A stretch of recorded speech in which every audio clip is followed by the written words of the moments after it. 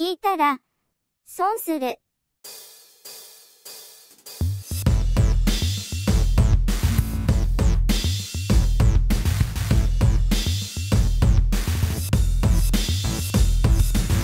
全然話変わるんですけどあのこの間アントマンワスプっていうアントマン2アベンジャーのちっちゃいやつ。ちっちゃいやつアリになるやつの2を読んだんですよ、あ見たんですよ映画でね。でそれ見たらなんとあれが出てくるんですマトリックスに出てくるモーフィアス役の黒人が出てくるんです。ほう。でキアヌ・リーブスに起きるか起きないか選べっていう。でそのシーンがちょっと出てくるんです。ほう。えどういうこと？そのパロディみたいに使パロディととか、まあ、オマージュなのか、うん。そのシーンがちょっと出てきて本人がそれを話すってみんなあの寝てる人もいるけどそのままの方が幸せかもね？みたいなことを言うっていうシーンがあって おおってちょっと上がった話です。上がる。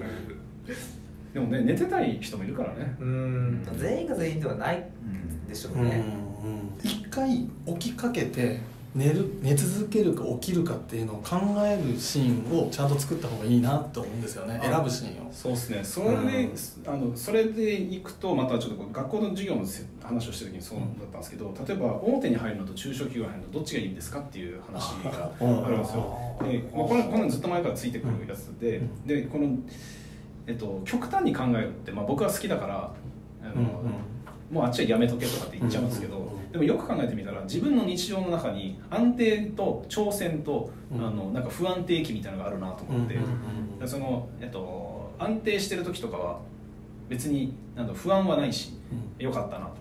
でも安定し続けてるとな毎日がつまんなくなって何か従って挑戦する、でその瞬間気分も上がるし、うん。でも大体うまくいかなくなったりとかしてこうブレて不安定になるから安定にまた戻したくなるみたいな、うん。それが以前よりも1ミリぐらい上に上がってればいいなと思うんですよ、うん。以前の安定ラインより1ミリぐらい上がってればうん。それは成長かなって思うので、うん。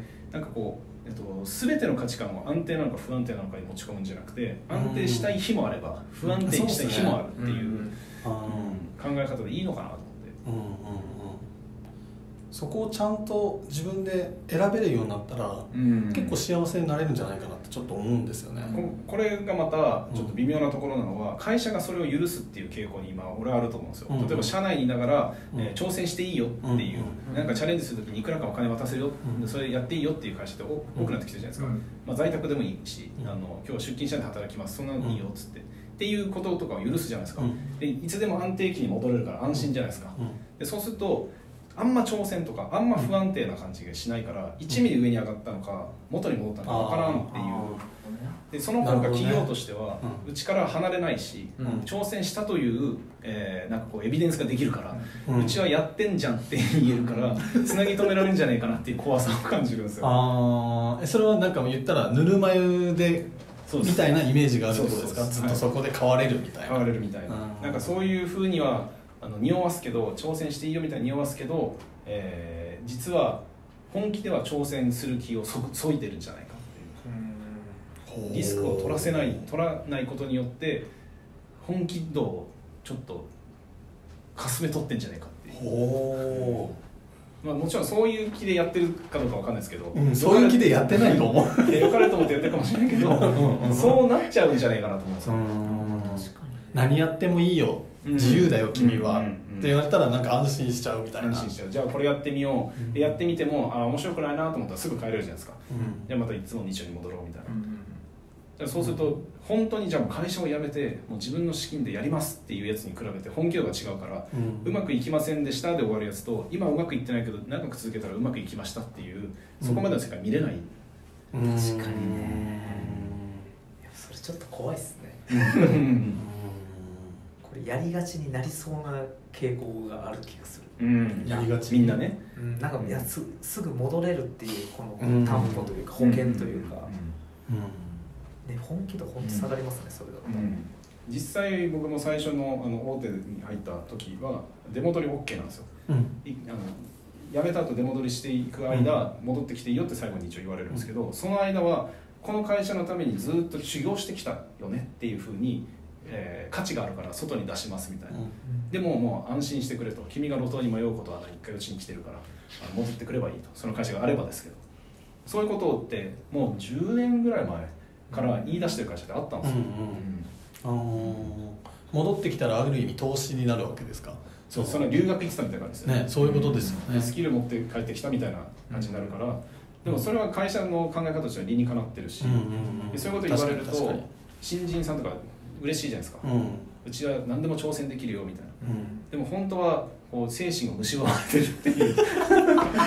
あれでもそうなのかな？今の話。そうなのかな？いややめてしまえばいいんですけどね。あの環境を本当に変えればいいんだけど、うん。その環境の鎖につながったまま挑戦という気分になるっていうのは危ねえかもしれない、ダメなの？うんまあ本気でその中でやる人がいればいいんじゃないですかね、うん。だダメじゃないというかやるならあの本気で活用しなきゃいけないんですよね。うん会社もいいって言ってるのをあう本気で活用するもうしゃぶり尽くすぐらいの勢いで。あなるほどね、うん。なるほどね、ちょっとやってみたけどすぐ戻れる税はダメじゃないですか。なんか常にあれですね白黒つけたがります。ねそこはもうね そういう人生はある人からね。いやでもいきなりやっぱり大きな一歩っていうのはなかなか踏み出せねないから。そういう意味ではじゃあ回数決めるとか3回まで簡単なやつやっていいよ。っつってでもこれ今の人たちあのよくこの仕事を優先順位そんな高くないって人たちがなんでそれやんなきゃいけないんですか？だって給料もらってるじゃないですか、うんうん。ってなりますよね、うん。それを何と説得するんですか、やんない自由もあるっていうことですね、うん。うん。でやってもいいしやんなくてもいい。ああでもそういう人たちを説得したいわけじゃないんですか？今の話って。ああ説得それじゃダメだ！みたいな。その人たちは辞めない人たちじゃないですか。やめない人たち。でちょっと辞めそうな人たちをつなぎ止めるための施策ですよね、これきっと。えっとなんか何かやりたい的なやつなんかあなんかこの会社じゃ自分のやりたいことできないかもって思ってる人たちにプレゼントを渡すというか。ああなるほどね。やっぱね前職とかでもこう辞めますって言った時に次何をしたいのとかって言われるわけですよ。でこれがしたいって言ったら、じゃあ用意しよう。それを会社の中でやるためにはどうしたらいいかを考えようみたいな話をされるわけですよ。あででそういうことじゃねえよ感が。でもそういうことじゃねえよ感出ますよね。出ますよね。出ます出ます。おめえが嫌いなんだよ。そうそうそう。本質違うっていう。うん、必ずしもね本当のこと言わないですもんね。ううん。ん、そりゃそうです。いや、えっと、みんなに目を覚ませって多分言いたいんですよ僕は、うん。言いたいんでしょうけど目を覚ましたくないんだっていう人たちとはおそらく距離を取りたい。僕自身は。なるほどなんだっけその起こす人なんですね。起こす人ね。起こす人なんですね。うん。絶対楽しいのにとかってこう自分の価値観で絶対押し付けれるタイプですね。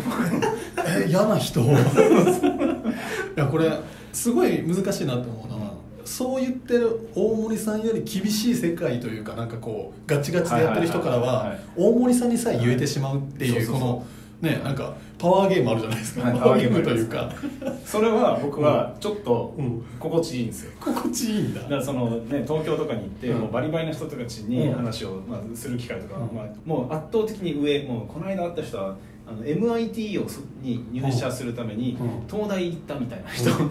東大行ってから MIT 行ったみたいな人がいてで今投資受けてうん。会社を起こして、うん。で今近々打って、うん。まあ、だから好きなことしますみたいな。その人たちの、まあ、31歳。その人たちの考31歳え方とかで聞くともう俺がなんて惨めなんだというか惨めというかなんてちっちゃいところでうん。こんな偉そうな強い価値観をし弱き者に押し付けてるんだ俺は。って再認識するんですよ、うん。でそれが逆にそのふっぷうなんていうのかなあの発奮材料になる？上に登りたいと思いますよね。ああなだからるほどそういう時ってスストレスを感じますよね。なんか強いストレスを、うんうんうん。だからお前は目覚ませよってビンタされたみたいな、うん。いたたっつってそこであんま寝ないっす。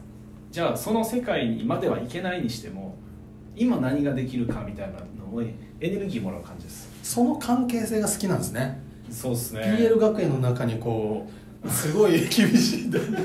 上下関係があるみたいなのが好きなんですね。多 分そうこれ変えたくないですね。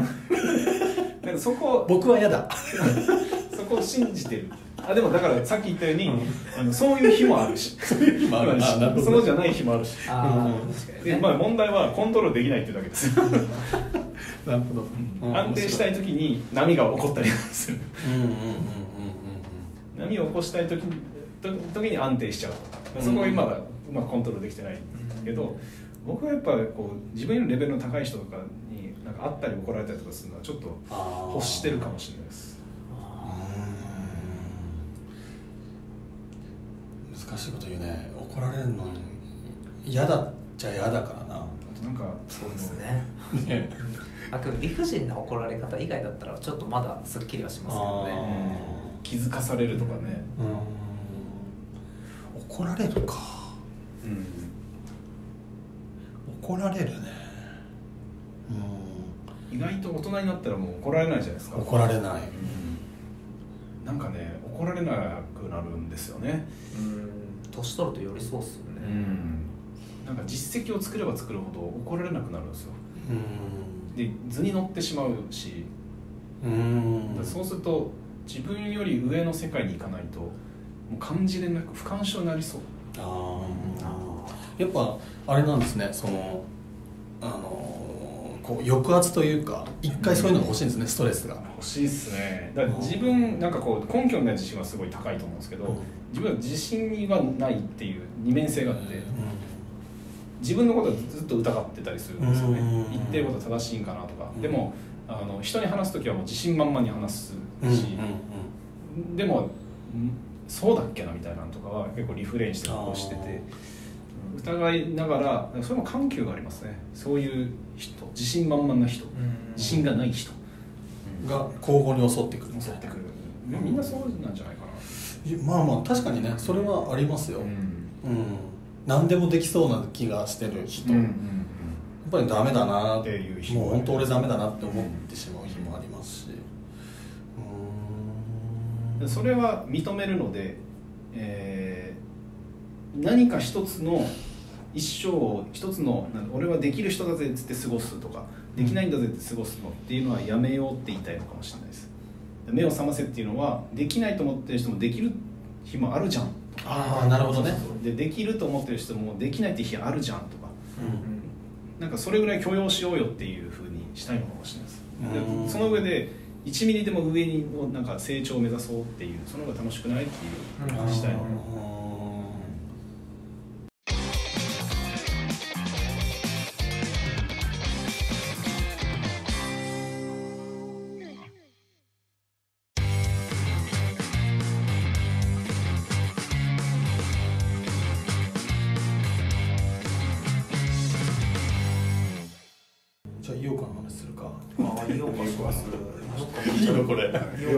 非常に感銘受けたんですよね、まあまああのまあ僕本当もう半分ボクシングファンを引退してるんでお半分以上かな。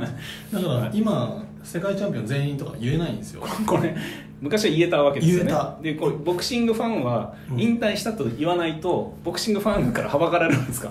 いやもうねあの傾けてる熱量が当時と違いすぎて、はもう今はボクシングファンってちょっと言えない,、言えない。っていうのが一応前提にして、はい。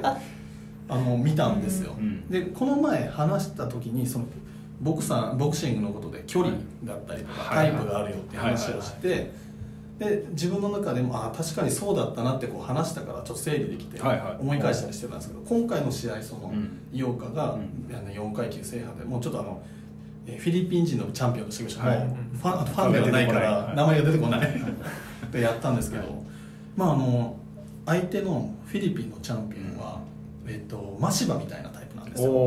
距離取る。そう距離取る。で確か全 KO だったと思う。のおうん。で27歳油も乗り切ってて。お井岡は30ジャストでしたっ30ジャストですね、まあ、ちょっとそんなに差はないんですけどね30と27と。でももう勢いに乗ってて。でうん。身長どっちかというと上の階級の人なんですよね。今回スーパーフライだったんだけど、うんバンタムとかの人だったような気がします。もともとね。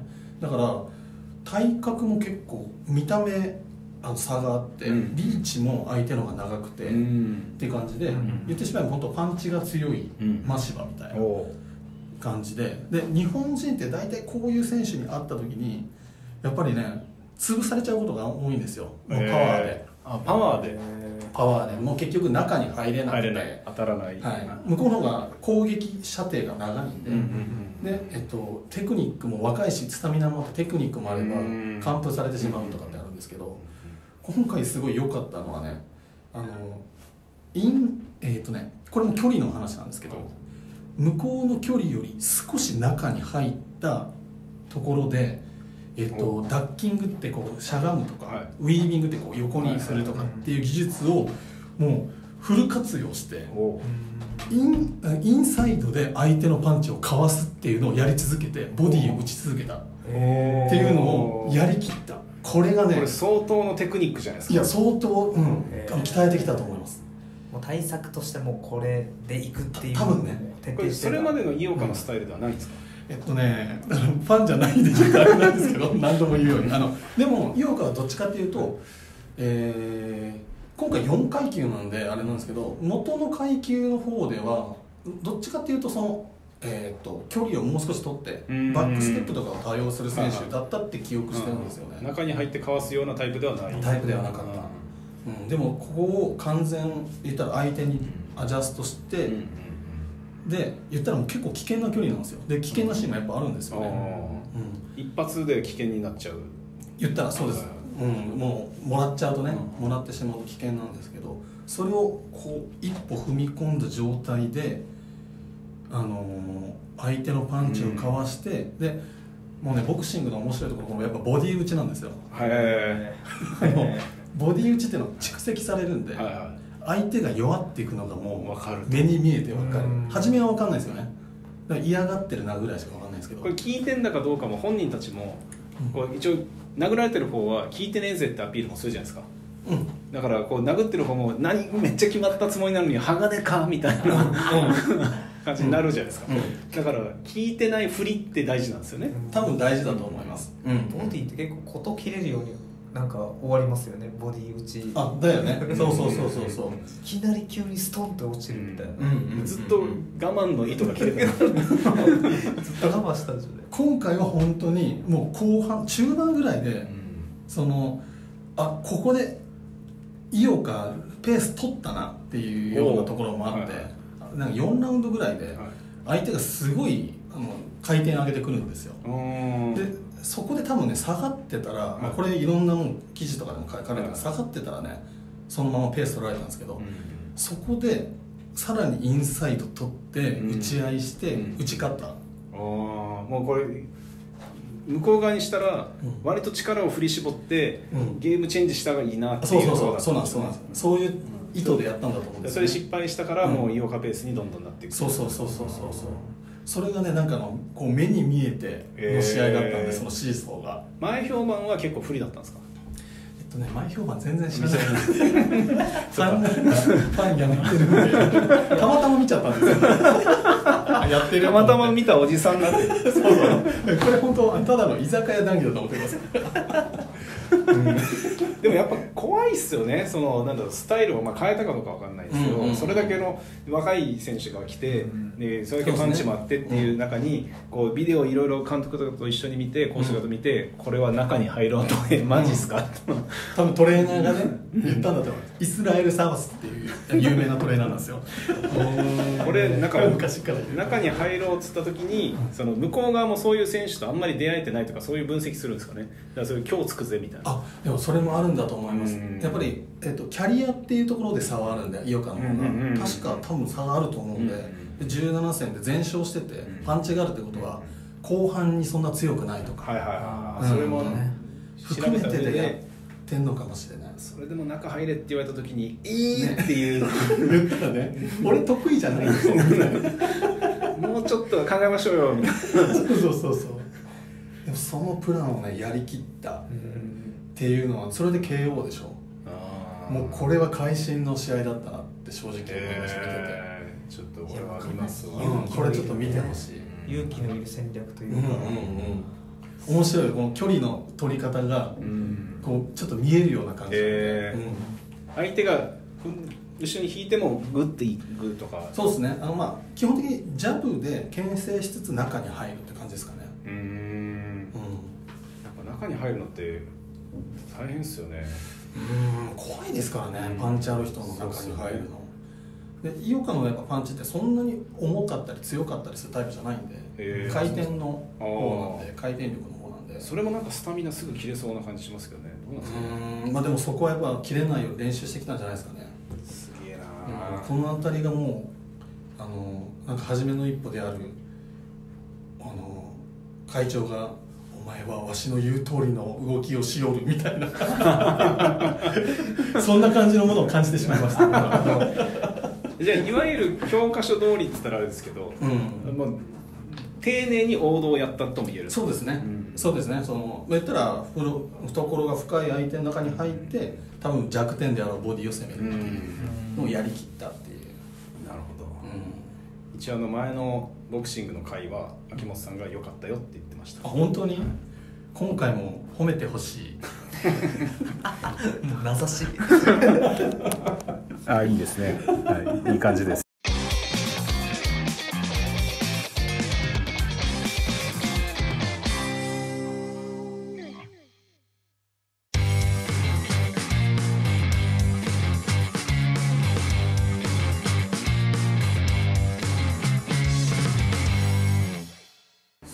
れる感じがするんですよね高いところに行くと。なんか飛び降りちゃいそうなね自分の意思と反して、うんうんある？わかる？僕はもう足がすくむって感じですね。ああ引っ張られるっていうよりはもう嫌だなっていう感じですザ・ねウォークっていう映画をね見てほしいんですけど。あそれってあれじゃないの？綱渡りビルとビルのね、綱綱渡りの超怖いあれ。見てるだけでヒーって。絶対嫌だ。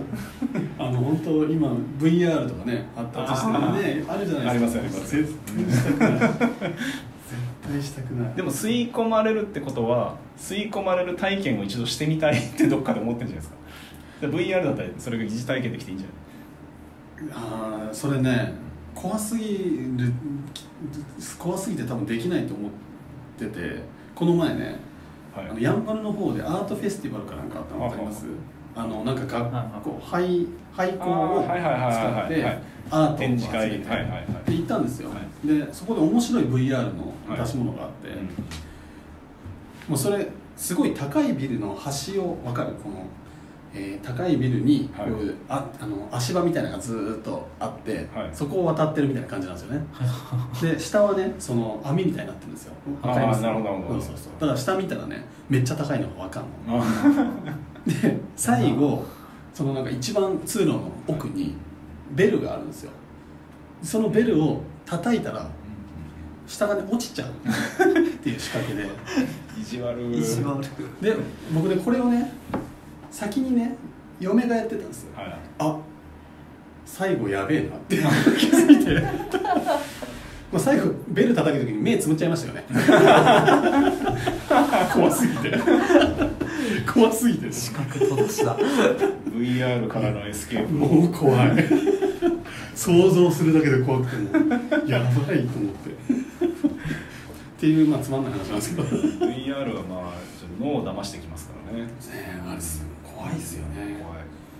俺あんなのでホラーゲームとかさ。キッチン。キッチン。キッチン。あれ？キッチンって？あっちでやったはいゲームバーでやったじゃあないれとかね。あれ絶怖い対嫌だ。よね。あれめっちゃ怖かったっすね、うん怖いあれ怖いよ。何が起こるか分かってても怖いのにさ、うん。今後でもああいうのいっぱい出てくるんだろうな。出てくるでしょうね。もうだって今の新しいパルコシティも 4D でしたっけ？ああね。風吹いたりね。ね。確かに。やだやだ。やだよ。最後らへんなんか針とかで刺されそうですよね。これやっぱそういうものを求めるのかなもっと明るいコンテンツがないんですかね。あもうもちろんそっちもねありそうですエけど。ロ系はまあ進むとして、まあね。もっとなんかそういうので遊園地とかなでもそのジェットコースターになっちゃうのかあーそうだなね。海とか海。なんか。それ海行こうと。もっと明るいコンテンツ。あー。要はいけないとことか再現できないところを再現できないって言ったらおかしいな。宇宙体験とか。宇宙体験とかね。視覚ジャックがいいですよね。視覚ジャック。あの例えばイタリアの何々さんの歩いてる視覚をジャックする。みたいなあ面白い。で VR でつながってて、うん。この人の日常をずっと歩くみたいな。ー。おなんかー体験できそうじゃないですか。イタリアに行った気分怖いねそれなんか。怖いね。俺はこんなことしたくないのに。そうそうやめろやめろっつって。怖いな。それでも面白いね。面白そうですよね、うん。それはすごいね。休日にそういうのをするのが流行るかもね。あ流行るかも他しれないです人ねね一日をこう、でも貸す側はリスクがでかいですよね。で見てほしいっていう人もいるのかな。俺の一日を見てほしいただこれを仕事としてなんか割り切ってやってもいいかもしれないですね、うん。この観光をするみたいな。あなるほどね。僕は観光しますよみたいなのがプロフィールに入ってて、はいはい。そこにジャックしたらじゃあ今日一日をこんな感じで観光しますみたいな。昔の「ストレンジ・デイズ」っていう映画がそういうやつで他人の脳の記憶っていうのを自分が借りることができるっていう、でその一日とかを自分が疑似体験するっていう世界の話があってでその借りた人が殺人をするシーンを見てしまいでそれでミステリーに入っていくみたいな話がありました。ね映画って割とねそういう未来を予知したようなコンテンツ作ってますよね。あ確かに。ね。うん。うん映画すごい数作られてますもんね、うん。これぐらいですかね。あ22分あいいじゃないですか。素晴らし